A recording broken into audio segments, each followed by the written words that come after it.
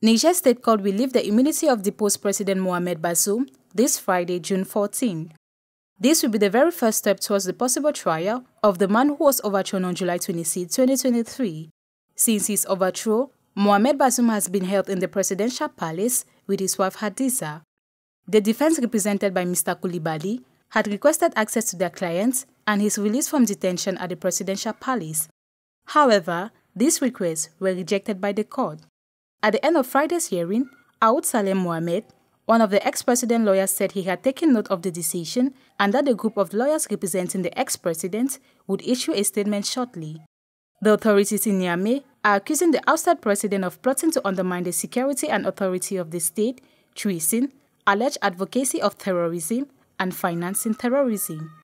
The former president allegedly talked on phone with French President Emmanuel Macron and US Secretary of State Antony Blinken to ask for their help during the coup d'etat in 2023. In December, the Court of Justice of the Economic Community of West African States ordered his release. This request went disregarded, and in January, Niger withdrew from the ECOWAS that had sanctioned it after the coup d'etat before lifting the sanctions on February 24, 2024.